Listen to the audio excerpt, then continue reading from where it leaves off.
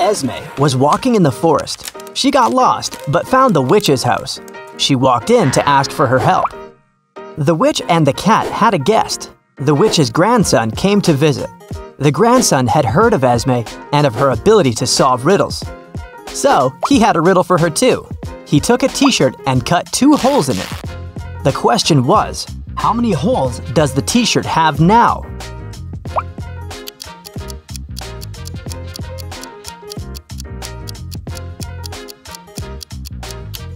8. With two holes cut through, there are two on each side, 4 in total. Plus, there are two holes for the arms, one for the head, and one at the bottom. Do you see a fake human here?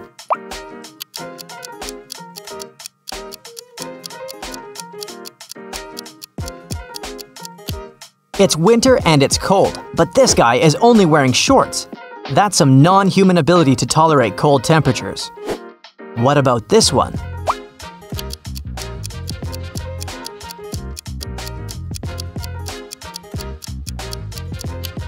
Take a closer look at what this guy is eating. It doesn't look like human food at all. What's really off here?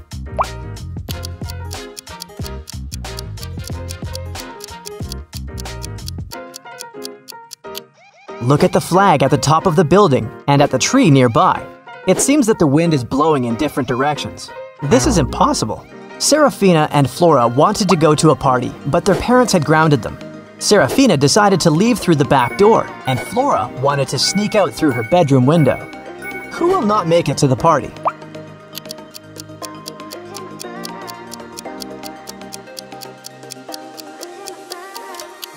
Probably Flora. Her father is sitting next to her window, reading a book. He'll probably see her leaving. Now, take a look at these pictures of Philip and Kai. One of them lives with his girlfriend. Can you tell who it is?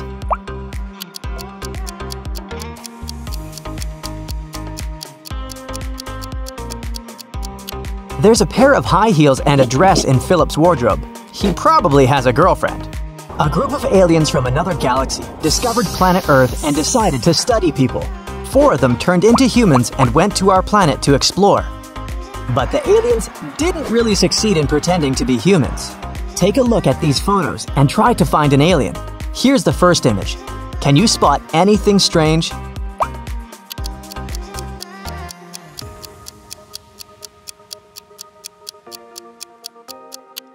This guy's skin is blue. He must be the alien.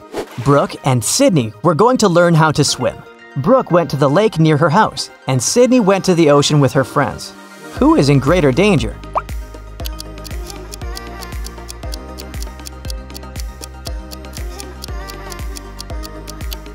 Brooke, she went alone.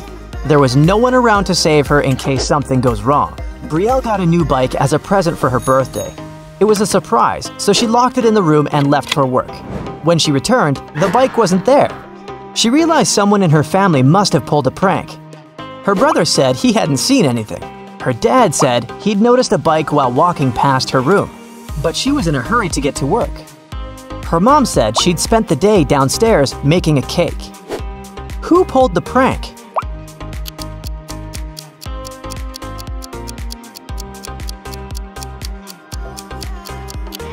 It must be Brielle's dad. She locked the room so he couldn't see the bike unless he walked in. What do you say here?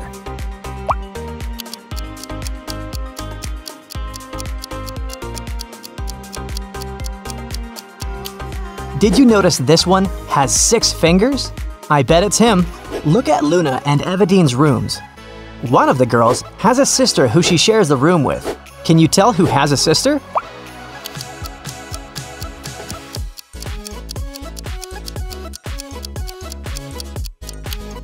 There's a bunk bed in Luna's room. I bet she has a sibling. Pay attention to the smallest details. What's wrong here?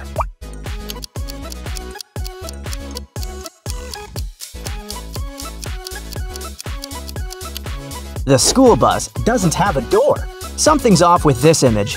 What is it?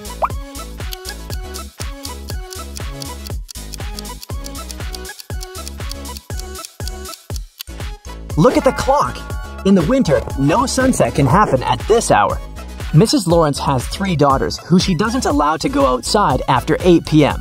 The woman was at work when a neighbor called her and said she'd seen one of her daughters in the mall. Mrs. Lawrence immediately called each of her girls. Mia said she'd been playing badminton outside. Nicole said she had an online study session with her friends. Quinn said she'd been playing computer games. Who lied?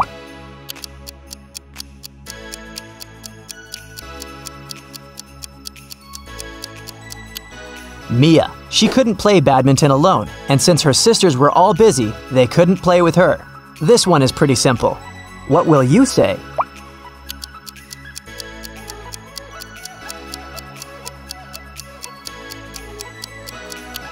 The reflection in the mirror is wrong. Mrs. Jordan loved music. So she sent her daughter, Gianna, to music school. The woman made the girl play every day. Once, Mrs. Jordan had to go on a business trip for two weeks. She asked Gianna to practice every day, and the girl agreed. When Mrs. Jordan came back two weeks later, she realized Gianna hadn't been practicing. How did she understand it?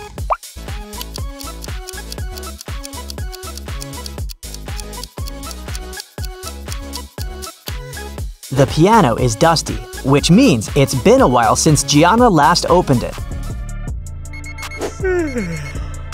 Chris and William are getting ready for the day. Which of them doesn't live alone?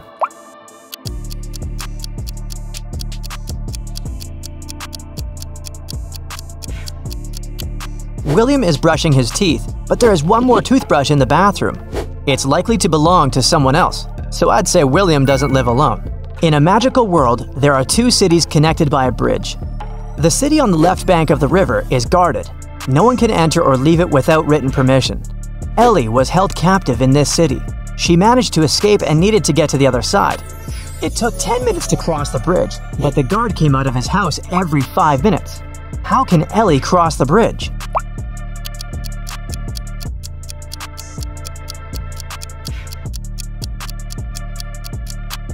Ellie should leave the city when the guard goes back to his house. Five minutes later, she should turn around and walk back towards the guard. When she approaches the man, he'll think she's trying to come in. But since Ellie won't have any permission, he'll send her back to the city on the right bank of the river. Okay, one of these guys has a cat. Can you tell who it is?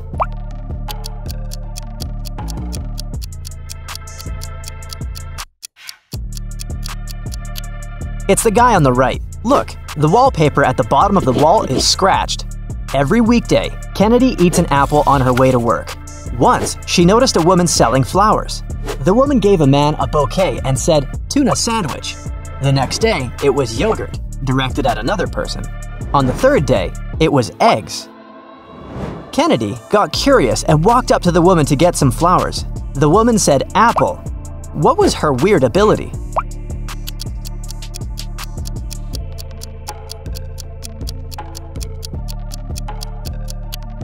The woman always knew the last thing her client ate. I have a friend, Anna. Her mom is the most unusual person I know. She has green hair, wears skirts with trousers, and has a pet raccoon. She also has three daughters. Her oldest daughter's name is Wednesday. Her middle daughter's name is Thursday. Can you guess what her youngest daughter's name is?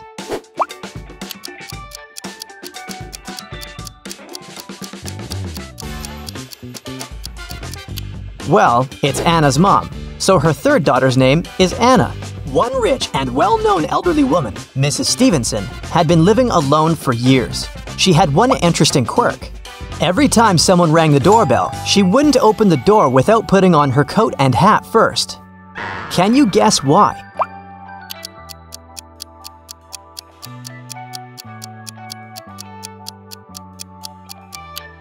She didn't know who the visitor was until she opened the door. If she liked that person, she'd tell them she'd just returned home and invite them to come in. If it was someone she didn't want to spend time with, she said she was leaving. Della and Aurora always tell the truth, but on their birthdays, they always lie. Today is September 3rd, and their friend Mark asks them when their birthdays are. Della says it was yesterday. Aurora says it's tomorrow. The next day, the guy asks the same question, but their answers don't change. When are the girls' birthdays?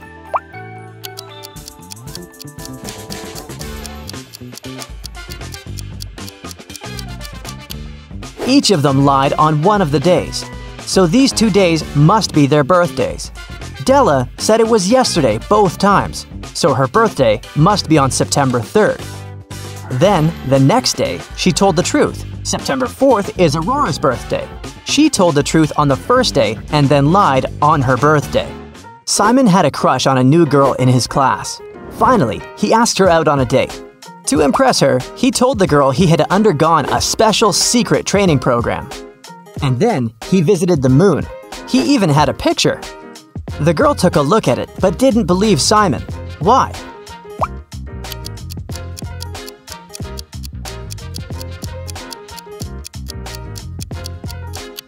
In the picture, Simon is standing on the moon. Still, there's another moon in the background, which is impossible. He might have cool Photoshop skills, but he definitely hadn't thought it through. Hazley and Skylar are jaywalking. Hazley is listening to music and Skylar is texting. Who is in danger?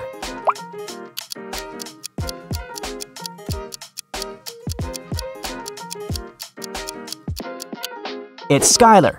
She's jaywalking right where the road takes a turn.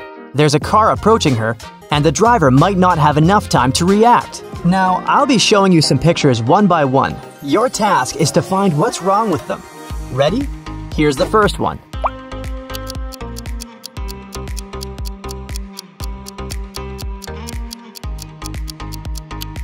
The sun is shining, but the camels don't cast shadows. On the first day of college, Ruby went missing.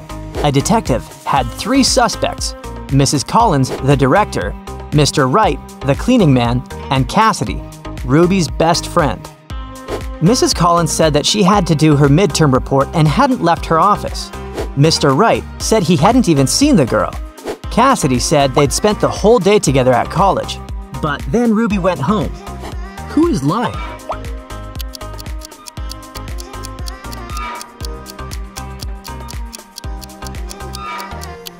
It must be the director, Mrs. Collins. It was the first day of college. There couldn't possibly be any midterm reports yet.